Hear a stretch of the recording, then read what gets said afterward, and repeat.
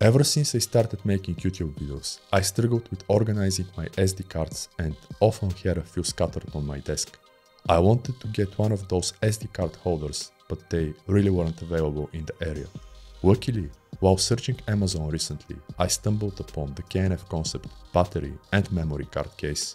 Considering the design, its functionality and the reviews, I eventually purchased the case. And after using it for a while, I think I finally found a solution to my problem, though this video is not sponsored. The case. The case arrived in a small box and a nylon bag. Inside the first, there the case and the buckle or a carabiner to perhaps attach to your DSLR backpack. Although I really don't see myself using the second, it is a great inclusion, allowing for more access to cards and batteries when on the go.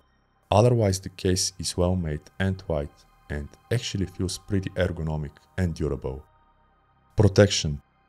The case is dust, water and shock resistant and according to the specs it has molded rubber lining, durable polycarbonate exterior for good sealing properties, ABS and thermoplastic rubber materials to prevent water, dust and particles from entering.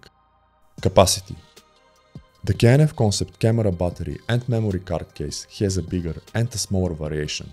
Based on my needs, I opted for the second, which can carry 4 SD cards, 6 micro SD cards, 2 DSLR batteries like the Canon LP-E6 batteries, or 8 double or AAA batteries.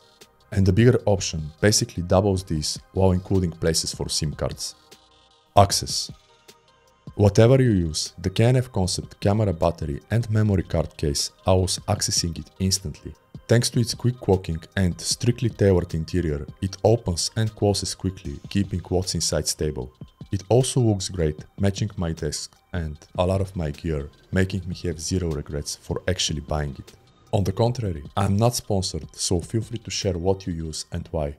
Otherwise, subscribe for more content on tech, lifestyle and creativity Check the links in the description and thank you for your time.